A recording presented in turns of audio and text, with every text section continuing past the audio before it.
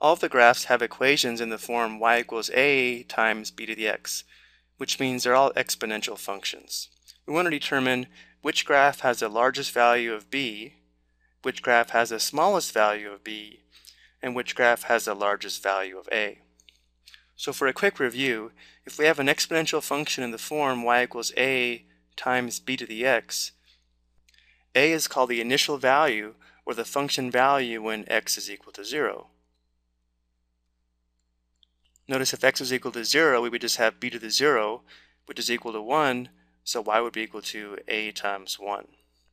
The reason it's called the initial value, though, is because a lot of times we use the variable t instead of x to represent time, and when time is equal to 0, a would be the starting amount before the exponential growth or decay starts. But because we're setting x equal to 0 and determining y, a is also the y-intercept of the function.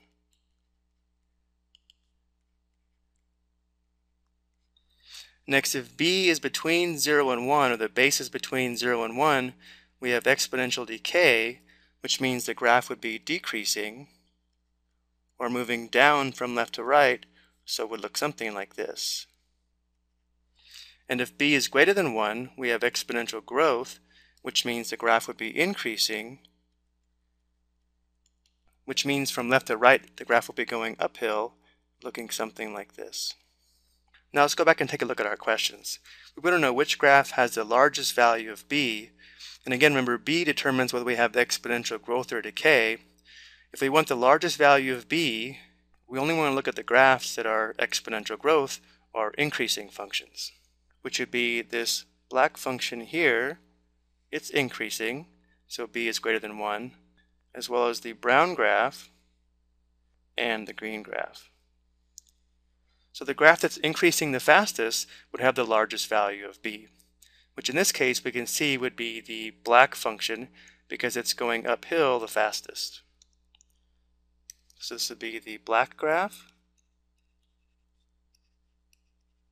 Now we want to determine which graph has the smallest value of b, which would have to be a function that represents exponential decay or a function that's decreasing, which means now we want to focus on just the red graph and the blue graph.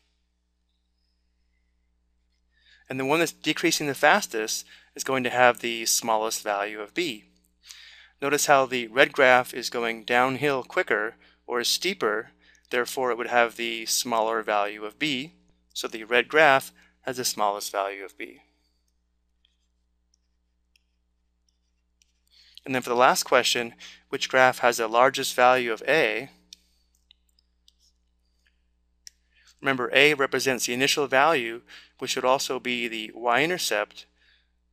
So looking at our graphs here, the brown graph has a y-intercept of positive 2, while all the other graphs have a y-intercept of positive 1. Therefore, the brown graph has the largest value of A. Okay, I hope this explanation helps.